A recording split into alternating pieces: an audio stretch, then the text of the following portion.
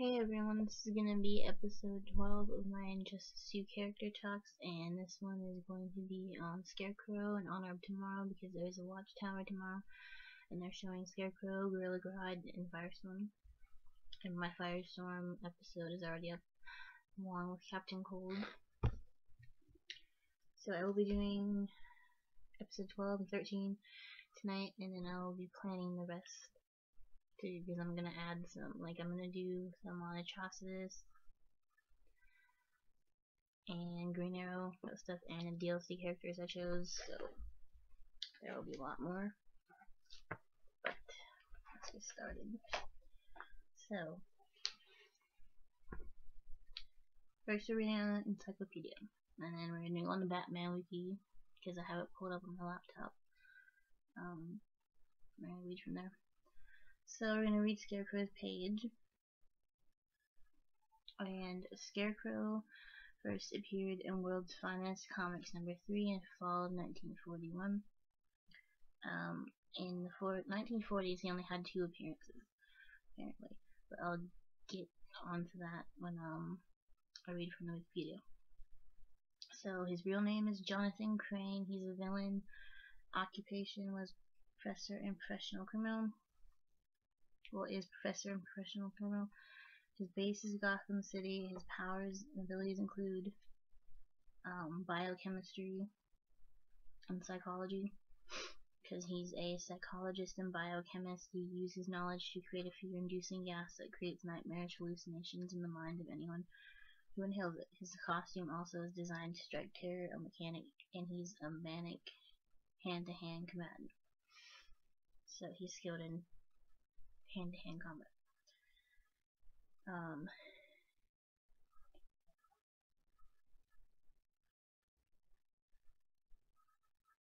this little section says Terror Master, a psychiatrist turned psychopath, the Scarecrow uses his fear gas to terrorize his victims, often leaving their minds permanently crippled. Um,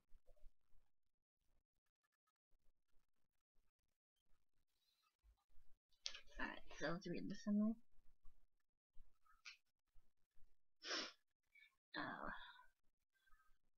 gawky and uncoordinated as a child, Jonathan Crane was often the physical and emotional target of neighborhood bullies. Initially frightened by their horrible taunts, Crane eventually decided he would turn the tables on his attackers and began voraciously studying phobias and the nature of fear. So, um, he's very smart when it comes to people's phobias and studying and stuff. So um, there's that. As an adult, Crane became an expert psychologist specializing in theory, also acquired some knowledge of chemistry, studying how certain combinations of chemicals could affect the human psyche. Crane became a professor at Gotham City University, but was summarily dismissed from his unorthodox teaching methods and his refusal to follow the school's safety codes. He did not follow safety rules. Um, Crane's fragile mind snapped after his dismissal and he adopted the guise of the Scarecrow, vowing to use his knowledge of fear and his own specially designed fear gas to gain revenge. Using this chemical, the Scarecrow killed several of Gotham University's regents by literally scaring them to death. Um, the Scarecrow was then confronted by the Batman, who ended the villain's reign of terror and incarcerated him in Arkham Asylum for the criminally insane. Escaping from custody over and over again, the Scarecrow used stolen funds to constantly upgrade the potency of the fear gas, uh, mixing powerful synthetic adrenocortical secretions with potent hallucinogens to create a pathogen strong enough to prompt almost instantaneous tear, terror-induced heart attacks in his victims. A constant fellow Batman and his allies a spooky threat to the citizen of Gotham City, the Scarecrow is obsessed with fear in all its manifestations and relishes in, in inflicting. Perhaps, fortunately, Crane is prey to phobia of his own. Chiropterophobia, a chronic fear of bats, or more specifically of Batman, so he's actually scared of Batman. Um, little summaries about Hush. Um, Scarecrow is one of the several Arkham inmates the villain Hush used in his war against Batman. Scarecrow has used his fear toxins and psycho psychological expertise to frighten and manipulate Joker, Poison Ivy, Killer Croc, and the Huntress into battling Dark Knight. Um, so, that's all that this encyclopedia says. So, very interesting. Um, let's see what the wiki says. Because we're gonna go and discuss his creators, like who created him. Um, and he is created by the same people that created, uh, Poison, not Poison Ivy, but Catwoman. Alright, so Dr. Jonathan Crane, also known as the Scarecrow, is a DC Comics supervillain and enemy of Batman, created by Batman creators Bill Finger and Bob Kane. He first appeared in World's Finest Comics number 3, fall of 1941. His Scarecrow costume, lanky appearance, and surname was inspired by Ichabod Crane of the horror fable The Legend of Sleepy Hollow. Makes sense. Um, he is an overly obsessive and deranged ex-professor of psychology who uses a variety of drugs and psychological tactics to use the fear and phobias to, of his adversaries. He does not commit his crimes for wealth, but rather as a form of research to further study the effects of fear, of fear on humans. And later he does it to satisfy his own psychopathic desires, making the innocent citizens of Gotham his unwilling guinea pigs. Okay, and here's where it says the Scarecrow only made two appearances in the 1940s. Batman writers of the 1960s revived him, and he has since consistently appeared in Batman comic books. He was featured in several several times in the Emmy-winning 1990s cartoon Batman the Animated Series, where he was first played by Henry Polic II. And when the series was revamped and shown together with Superman the Animated Series, the character was voiced by Jeffrey Combs in the 2005 film Batman Begins, and its sequel is The Dark Knight and The Dark Knight Rises. He was portrayed by Cillian Murphy. Um, and to be honest, that guy, that guy was actually in a way a perfect scarecrow because I always find him really creepy in the movies that he's in. Um, he's a really good actor though. Um, so we're going to talk about his we're going to go through his team affiliations, his abilities, and who he's been traded by. Then we're going to go on to some other stuff. Um, this might be a longer episode because there's some quite a lot about him on this page. So, moving on. Um, his team affiliations include the Injustice League, Assorted Batman Rogues, Justice Gang, Secret Society, Supervillains, and the Sinestro Corps. Um, he is well educated on the psychology of fear. He develops various tools which induce crippling fear. He may transform under duress into the monstrous scare beast, gaining superhuman strength, endurance, and a more potent hallucinogen. He has been portrayed by Cillian Murphy, Henry Polic II, who did his voice, Je Jeffrey Combs, who also did his voice, Dino Andrade, who did his voice, Charlie Tahan, John Noble, Jason Mantzoukas, I don't know how to say that. Um, those are all the people that have portrayed the Scarecrow.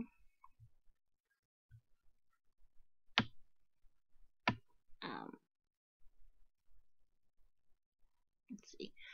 Okay, so in the Golden Age, elements of the Scarecrow fear gas appeared in Batman publications prior to his first appearance. For instance, the idea of fear gas first appeared in Detective Comics number 46 in December 1940 in a story featuring Hugo Strange, in which he uses a special fear dust in order to scare the police and successfully rob a bank. In his first appearance in, in the world's finest comics number 3 during the golden age of comic books, the Scarecrow is first introduced as Jonathan Crane, a professor of psychology returns to crime after he is fired. An expert in the psychology of fear, he had fired a gun in a classroom full of students to illustrate a point. The only thing revealed about his early life is that as a child he had liked to frighten birds, ostracized by his fellow professors for his appearance and reclusiveness. He turned to crime to make himself part of the social elite. His modus operandi is to use his scarecrow persona and threaten his victims into doing whatever he wants. In terms of his costume, he merely wore a black, a ragged black hat, trench coat, mask, and wielded a Tommy gun. Okay. Um, we're not gonna read the last part. No, we're not gonna go super, super into depth. The last part is very long. Um, so, alright, we're going to read in the Silver Age part, and then maybe the post-crisis modern age version. Um, so in the Silver Age, throughout the 1960s Silver Age of comic books, the Scarecrow was revived to be one of Batman's most recurring rivals. He is a frequent member of the Injustice Gang. Ironically, in his Earth 1 incarnation, Crane has a strange fear of birds, even though he has a pet magpie named Craw. He also owned a pet crow he named Nightmare. Okay. Um.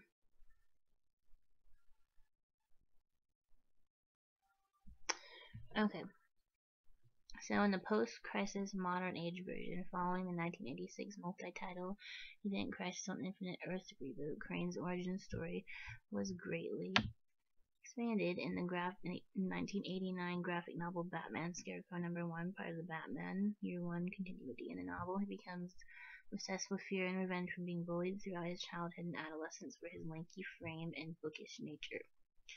He commits his first murder at the age of 18 by brandishing a gun in his high school parking lot during the senior prom, dressed in the ghoulish scarecrow costume that would later become his trademark.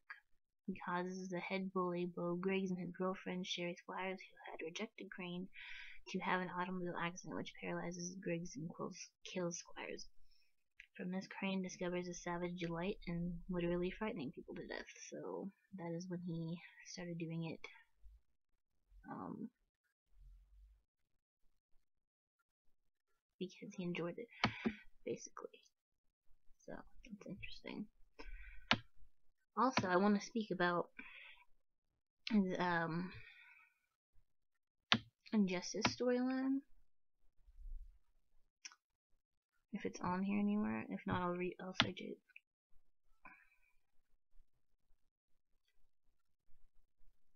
Um, and again, his powers and abilities include fear gas, close combat, psychology, um, the scare beast, which is uh, some genetic manipulation done to him secretly by Dr. Linda Futawa, also known as the Criminal Fright. He gains the ability to turn into a large monster with greatly enhanced strength, endurance, um, and a few gas he naturally emits. However, he has to be under physical strain or duress to transform.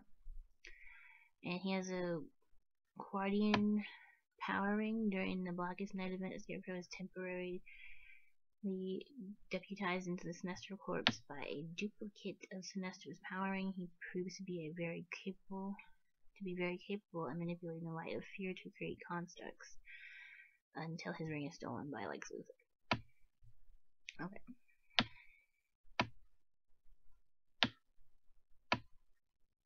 And these are just different versions of him. Um Alright, so it looks like we're gonna have to search real quick uh, his part in Injustice. As I know he appeared in some of the comics, and it is said that he, um, committed suicide, but that he was revived. Um,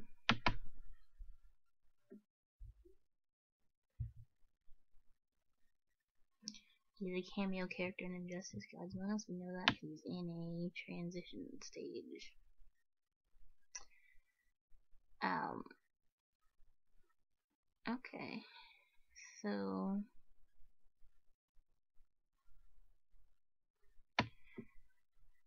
Again, it goes over his biography. Scarecrow is a brilliant psychologist turned supervillain who fights Batman in Gotham City, specializing in techniques and chemicals that manipulate fear. Jonathan Crane was originally a well-respected professor, although he lost credibility when he obsessively took his experiments too far and descended into madness, becoming obsessed with spreading and experiencing fears of Scarecrow. So in the Injustice comic, Scarecrow's body is found in Star Labs by the Flash, his face twisted into a smile, a telltale sign of poisoning by the Joker. The Joker is laughing toxin, excuse me. Um, Joker would use Scarecrow's pure toxin laced with kryptonite to make Superman see his wife Lois as Doomsday, causing the Man of Steel to accidentally murder her and seal Metropolis's fate. Okay, so in the original Injustice comics, he did not commit suicide. But, um,